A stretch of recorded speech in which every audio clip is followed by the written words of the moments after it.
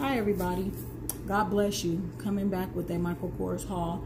Just to say, in these times that we're having, pray over your family, speak life, have a relationship with God most of all, and make sure that you are pleading the blood of Jesus over your house, your home, your cars, your family, and not just only that, but having that serious relationship with God. That's what's the most important.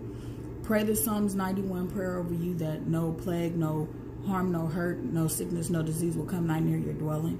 And make sure you give all the praise to God first of all.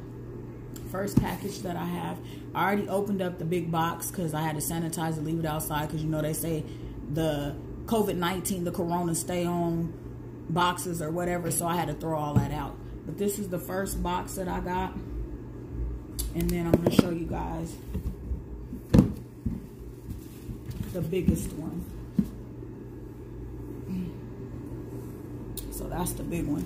So the big one is the one that I'm going to open first. And let me get started because I'm trying to hurry up so I can go and go spend my time with God. So this haul is going to be quick. Ooh. This haul is going to be quick.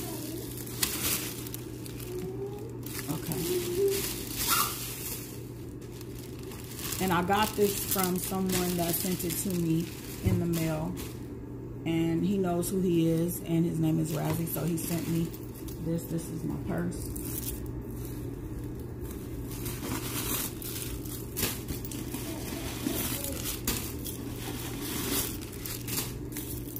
That is beautiful.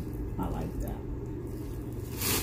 And let's open this one. Oh, and I got my card. I forgot to show you guys my card which I'll read by myself. I don't need to be reading it to everybody else.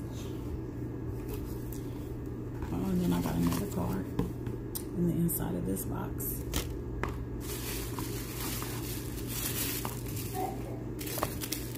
Okay now, okay now.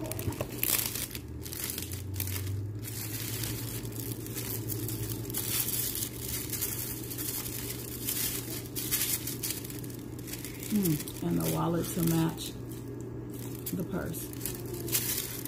Mm, okay.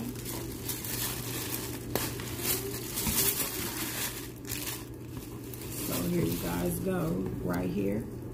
And that is my haul for tonight. You guys be blessed. And make sure you pray over your kids, plead the blood, and teach them the full armor of God. My son knows it from the top of his head to the sole of his feet. We put on our helmet of salvation. We put on our breastplate of righteousness. We put on our belt of truth.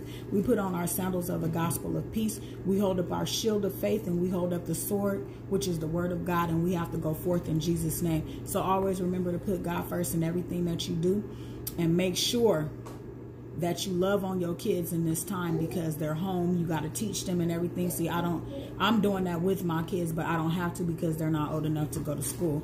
But put God first and keep him first. I'm going to keep saying that. Put God first and keep him first in everything that you do. Even to what you're going to do for the day, ask him first. Even to what you're going to eat for the day, ask him first. My journey to my weight loss is still here.